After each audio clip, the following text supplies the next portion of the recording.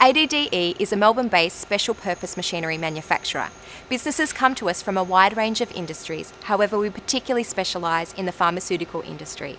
We build innovative high tech machinery so our clients can excel at efficient manufacturing of their product. We serve many of pharma's leading companies. At GSK in Melbourne, ampules are inspected, packed, buffered, and transported with innovative high speed robots. At CSL, Hospira, MSD, and others, vials are being inspected, printed, and packed with our equipment. And importantly, at AstraZeneca, our finishing lines are printed and inspecting every respule that AstraZeneca exports to China.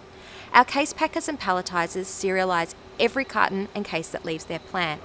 Our partnerships with the pharmaceutical industry are vital to the success of our business. When they grow, they make big investments, and that investment is made in little Aussie companies like us which flows through to our suppliers and, of course, helps build a team of highly skilled engineers and technicians that we are very proud of. We run a number of work experience programs to show the next generation that there are interesting and challenging careers in manufacturing. We like to think we are a vital contributor that enables the biopharmaceutical industry in Australia to be competitive with world class manufacturing facilities. Everybody wins, from the patients to our staff and suppliers, when the Aussie pharma sector grows.